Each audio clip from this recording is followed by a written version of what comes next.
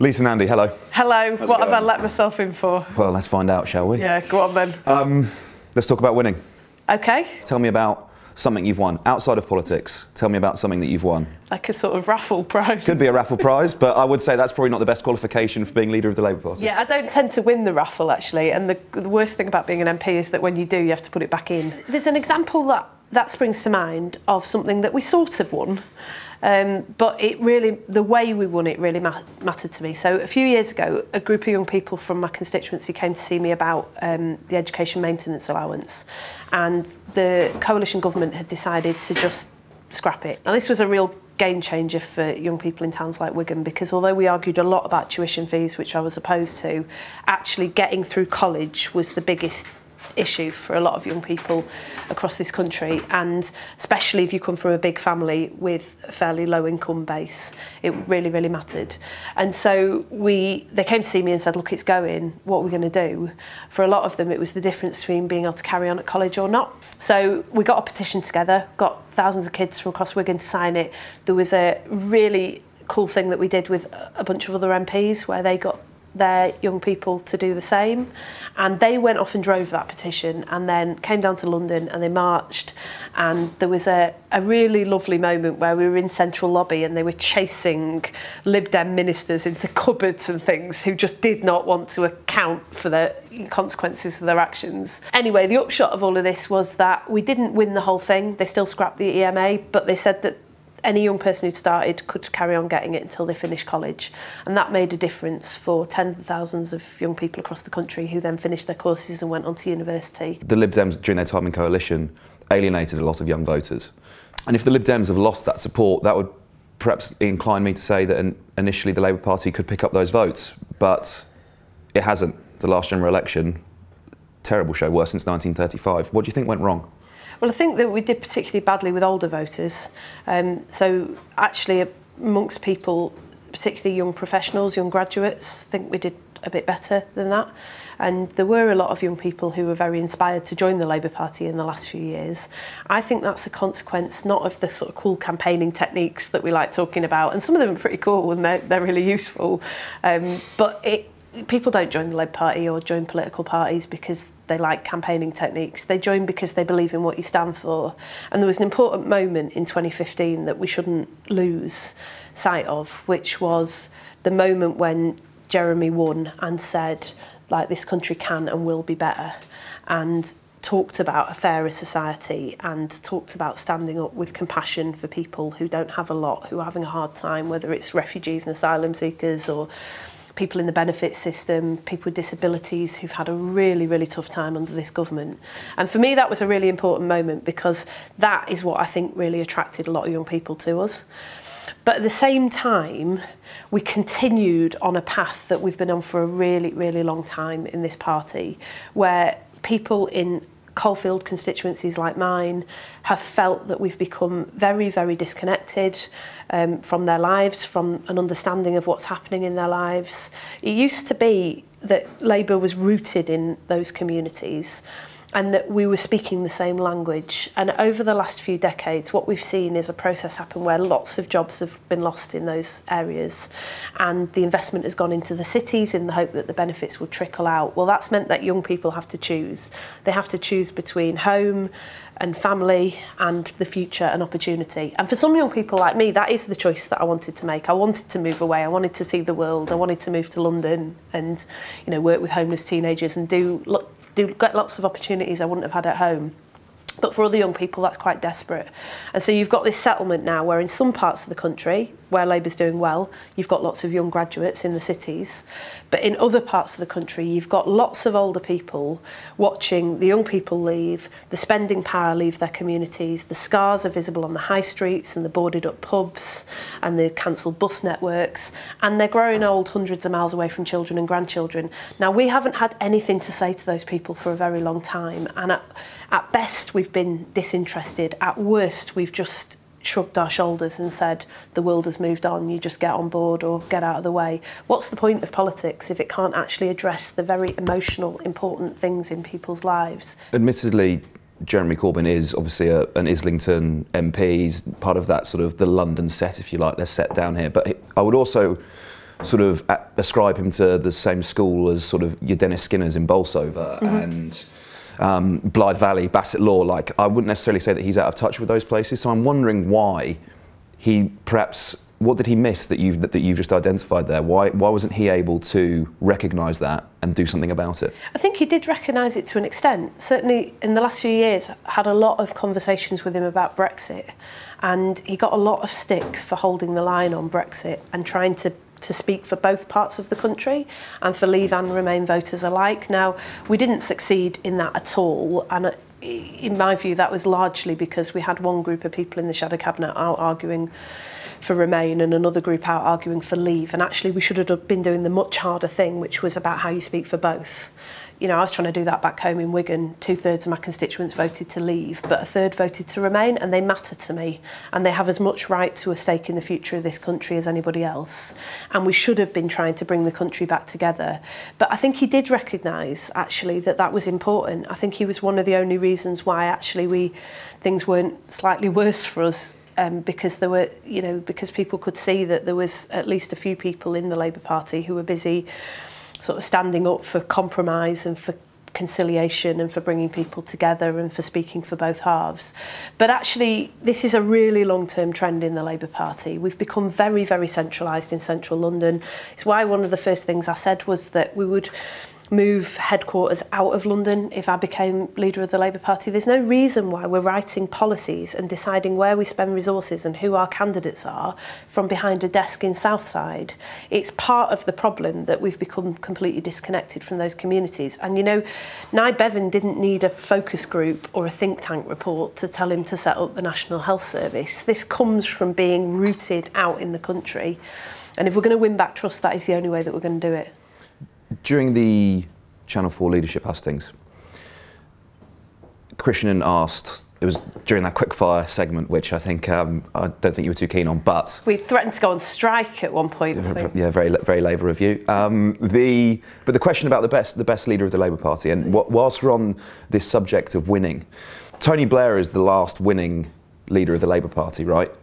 He wasn't even mentioned, not not a hint at it not a suggestion that he might be the best leader of the Labour Party when he is in modern history probably one of its most one of the most successful leaders of the party. Why do you think that is? I think that the debate in Labour has become very reductionist and binary in recent years, and we've gone straight on almost every issue. We've gone straight from um, the starting point of a debate to pick a side and fight it out. And you've seen it a lot over Brexit, but we also we've seen it in this contest over the the attempt to pit um, trans people's rights against the right of women to access safe spaces. We've seen it with um, the debate around Israel and Palestine as if it's a zero sum game that you either believe in the right of Israel to exist or you believe in the rights of the Palestinian people. And I think that the debate around leadership has become very like that as well. You can be a Blairite or you can be a Corbynista, and there's absolutely nothing in the middle.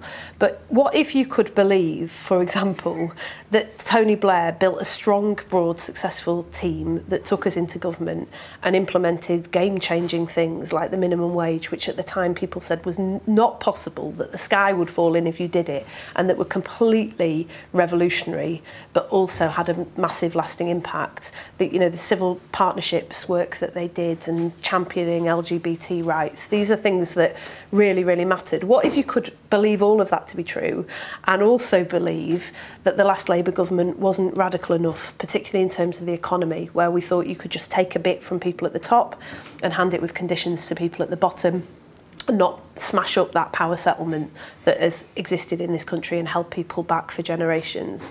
What if you think that we did lots of really good work, for example, on supporting child refugees in the latter years of the last Labour government? Gordon Brown brought them within the the Spectrum of the Children Act um, and brought them within a department for children, schools and families, was quite receptive to the arguments that I and other people were making about closing down Yarlswood um, and providing much more support early on for families. What if you could believe that and also think that we got it horribly wrong in the early days when we were bringing in destitution laws that I was taking the last Labour government to court over to starve children out of the country? What if you could actually have a sort of proper, honest reckoning with what we did in government, with what we've done in the last five years, without reducing it to a Jeremy Corbyn, Tony Blair 10 out of 10.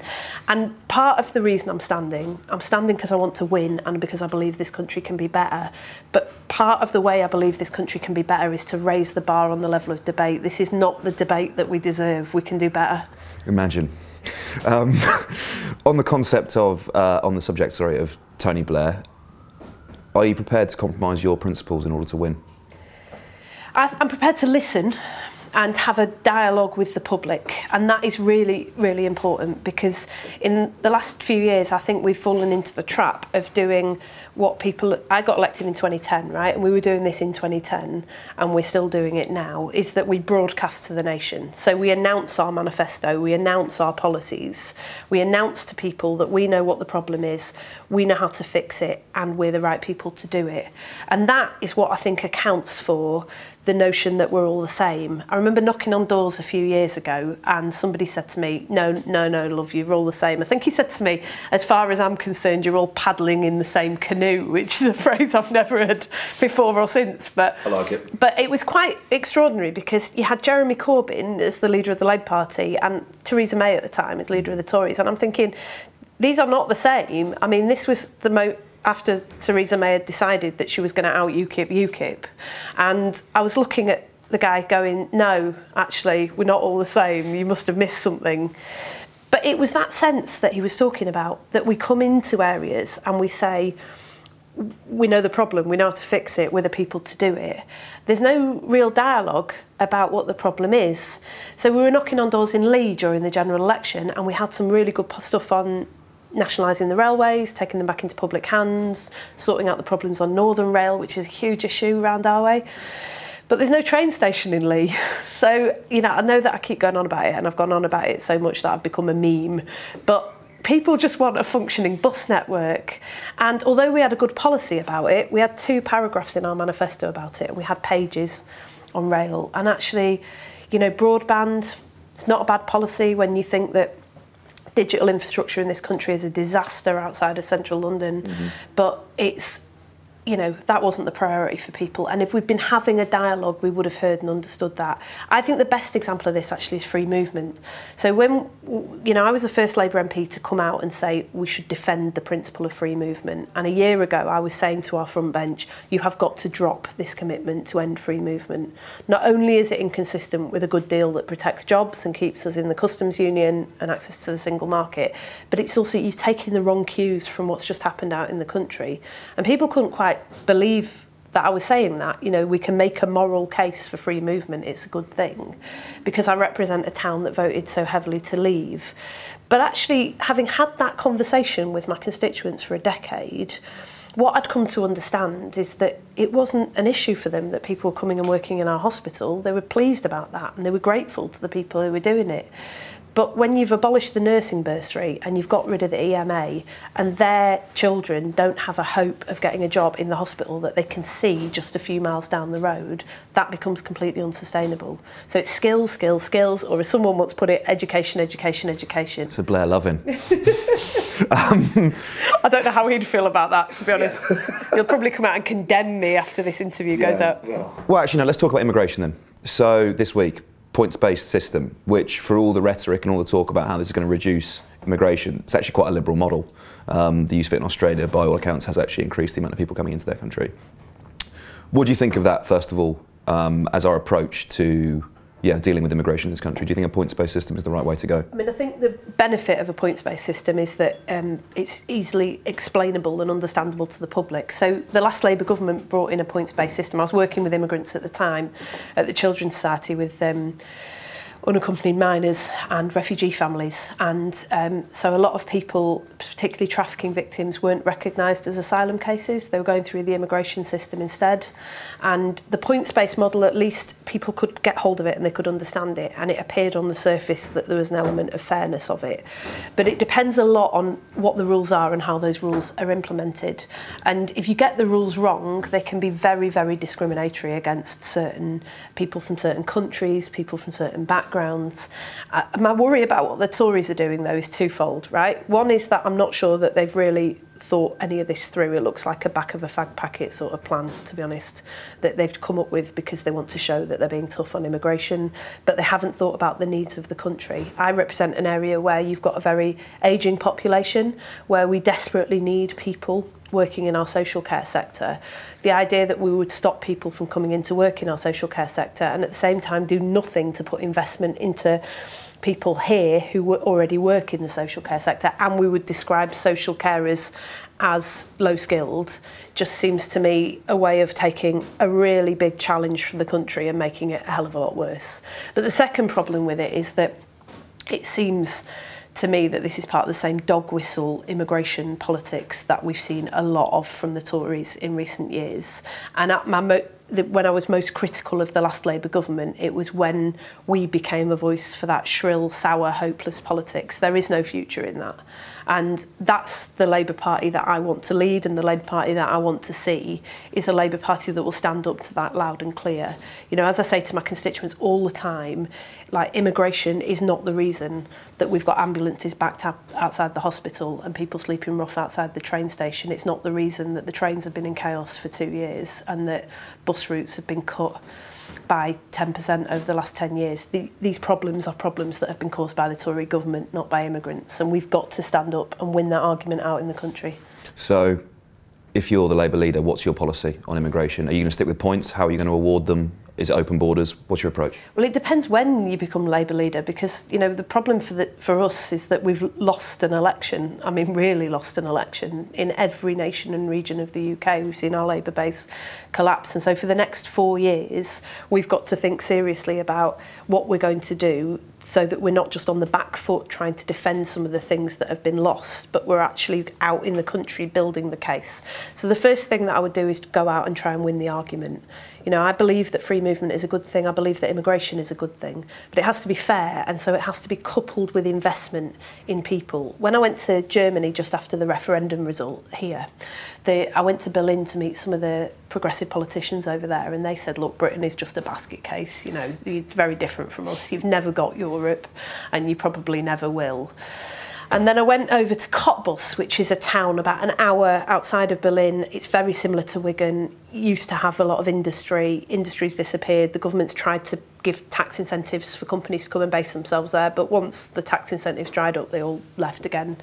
And um, exactly the same sentiment there, with support for free movement very, very weak because people saw it as something that benefited other people but not themselves because the investment hasn't gone into skills there. There's a basic question of fairness about how we make sure that when we build an immigration system that enables people to travel, study, you know, advanced science and arts and culture and music, when we build an immigration system that is open and enables the world to rise up together, that we are helping people to rise up together and that we're reaching people, not just people who already had those opportunities, but people who don't.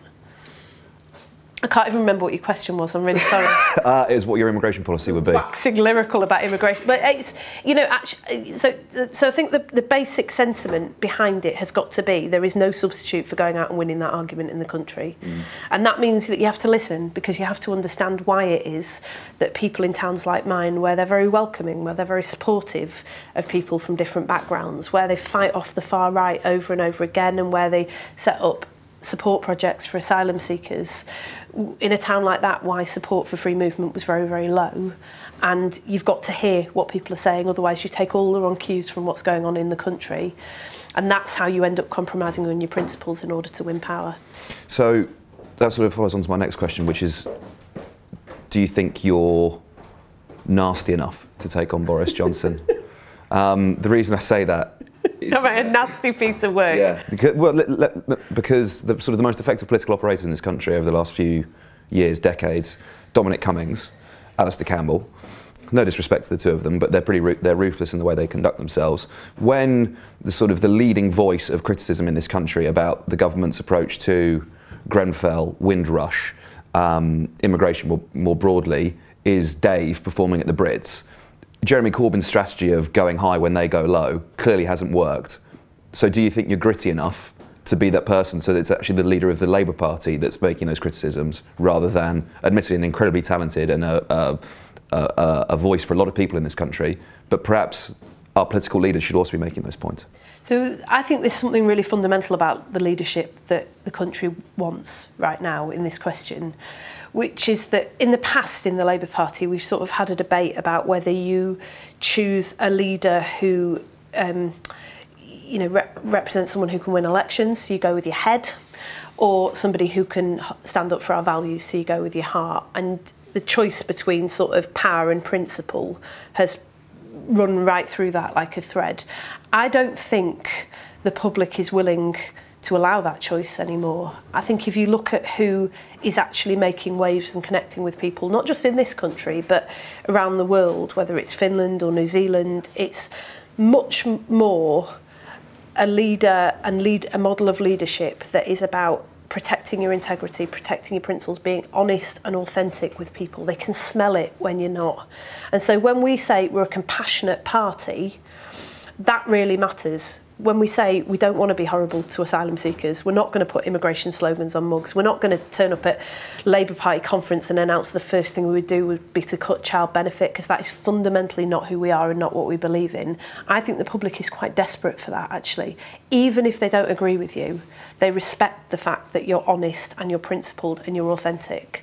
And so this is a leadership election in which I don't think people have to choose between head and heart. Not only can you have both, you must have both, otherwise you're not going to win. And Dave is a really good example of this because that was the best political speech I've seen in a decade.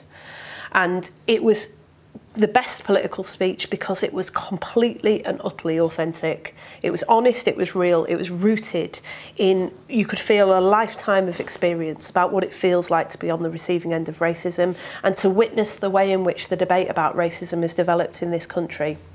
The writer Afua Hirsch wrote a really good piece a few years ago where she talked about Donald Trump and how he says he's not a racist.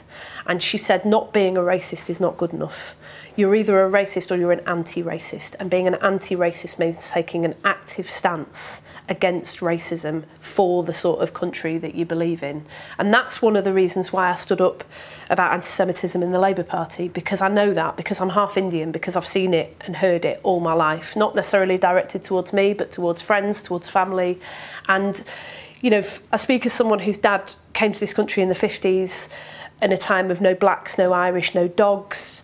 He, he ended up getting involved in the race relations struggle because he had no choice, and that led him to go and help with the writing of the Race Relations Act, one of the greatest gifts that Labour's ever given to this country. But when he and his generation reflect on what's happened since, they feel that most of the progress that was made in that era has unravelled in recent decades. And that, for me, is one of the things that drives me the most because we will not allow that to happen. We will not be the generation that dropped the ball, that allowed all of that progress to unravel. Every generation has to seek to advance. And that, for the Labour Party, that has never been the party of the status quo, that has always gone out and fought for a better world, this is one of those moments when we've got to stand up. What are you least looking forward to about being Labour leader? Oh, well, there's going to be one hell of a battle in the first few weeks because I have refused to move to London. Um, so I've been having a bit of a running battle with Andrew Marr over the last few years because um, I don't go on his show because I will not go down to London on a sun Saturday night in order to spend time in a TV studio in central London on a Sunday talking about how you rebuild support in the north of England just strikes me that this is the problem in a nutshell. And so um, when I move Labour HQ to Warrington, which ah. I've been I've been looking at the Labour leadership contend, deputy leadership contenders and trying to work it out. Mm. Um, the one that I know best in the Labour deputy leadership contest is Angela Rayner because she's from our neck of the woods. So I figured if she wins, there's quite a nice little commute for the pair of us. Lovely. Um, but if um, uh, that is going to be one hell of a battle, I didn't realise until I said that how angry that makes a lot of people. But that is the lesson about power is that if you want to disperse power more widely, then a small group of people who've held on to it for a long time are going to lose.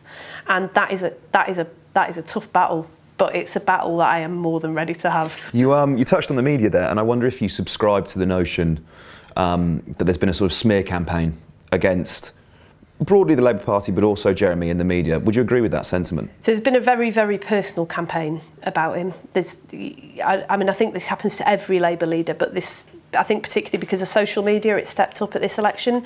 So in 2017, we were hearing a lot of sentiment about Jeremy on the doorstep about he's not for this country, he stands up for other people.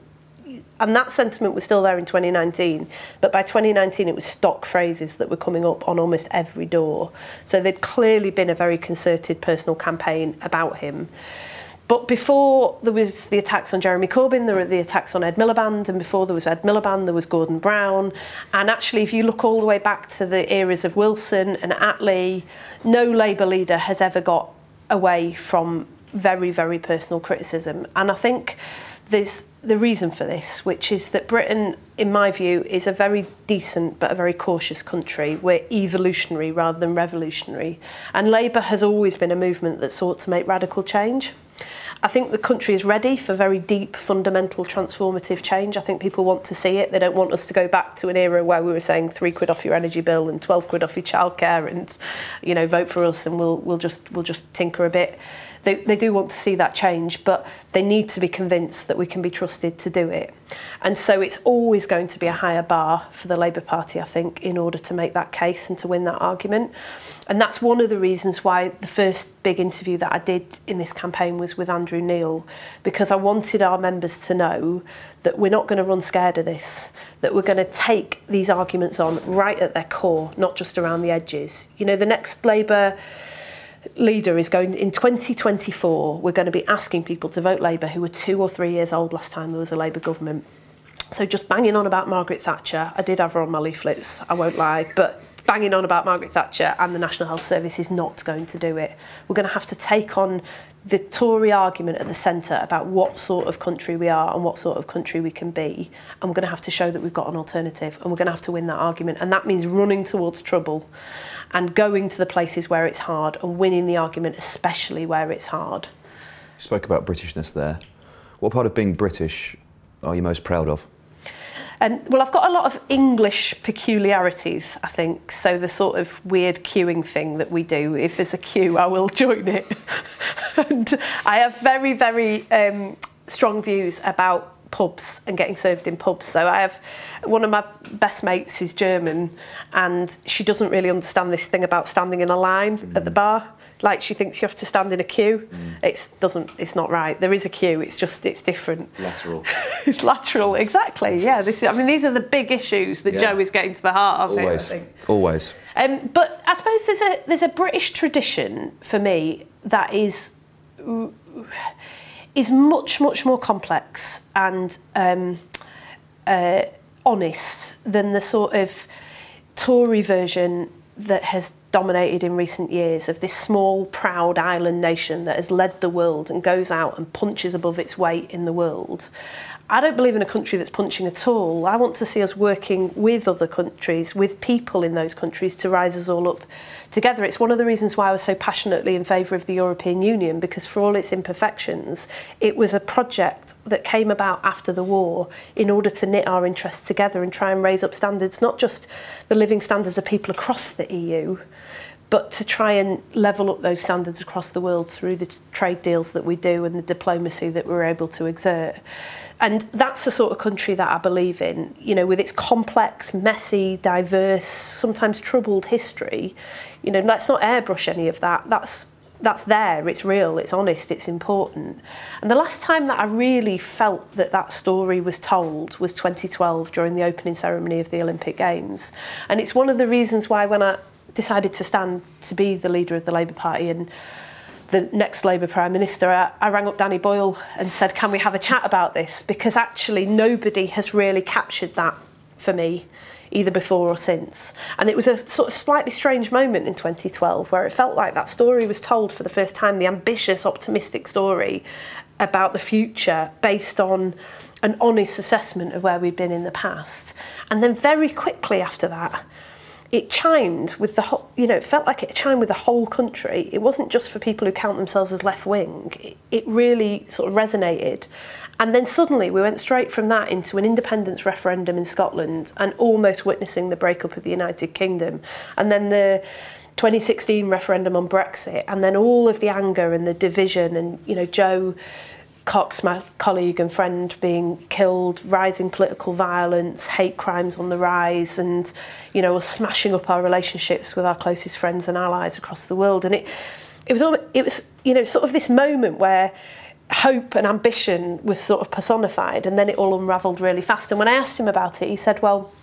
we are still that country that we were in 2012 but what it needs is leadership to give voice to it.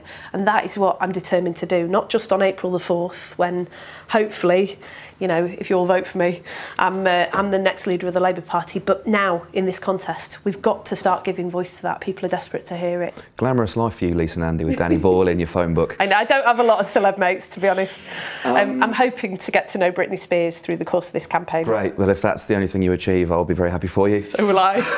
um, we need to we need to talk about LGBT issues, LGBT rights. Um, at a recent Labour Party meeting, someone stood up and asked you a question, yeah. and they asked you about the case of a person who had raped a child and then since self-identified as a woman, and whether that person should then be imprisoned with other women. You said yes.